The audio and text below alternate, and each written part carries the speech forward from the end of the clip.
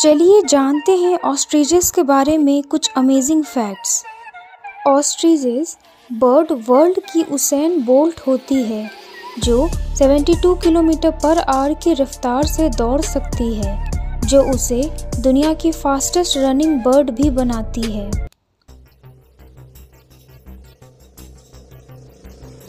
Ostrich के eggs भी दुनिया में किसी भी एक के मुकाबले सबसे बड़े होते हैं। जो सिक्स इंचेस तक भी हो सकते हैं। ऑस्ट्रिजेस कटी पतंग होते हैं। मतलब उनके पास विंग्स तो होते हैं बट वो उड़ नहीं सकते।